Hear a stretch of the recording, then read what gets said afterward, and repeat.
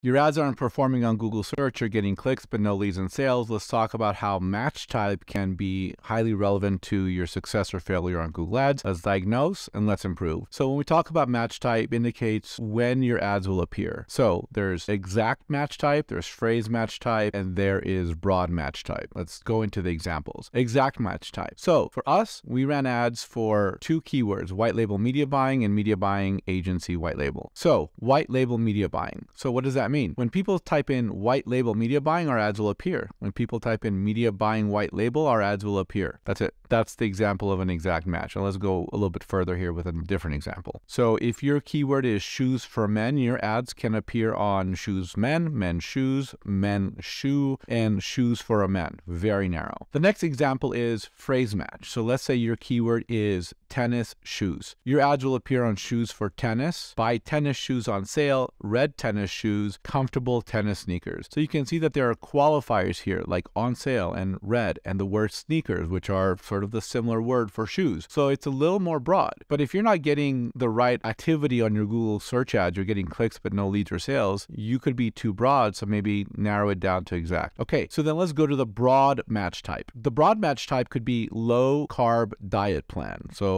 when will your ads appear? Your ads will appear when people search for carb free foods, low carb diets, low calorie recipes, Mediterranean diet books, low carbohydrate dietary program. You get the essence of the search phrase, but you have a lot of different words that are not in your phrase low carb diet plan. The word Mediterranean diet books. The only thing that's relevant there is the word diet, Mediterranean diet books, but your broad match keyword is low carb diet plan. So the idea here is you really want to be able to narrow down your keywords. And I often say that if you're not getting the right actions on your keyword, niche down, and look for performance sale. You'll get lower scale. It'll be more expensive to get a click, but these will be the right people. My name is Robert. I'm your friend in paid media. Follow for more advertising and marketing tips.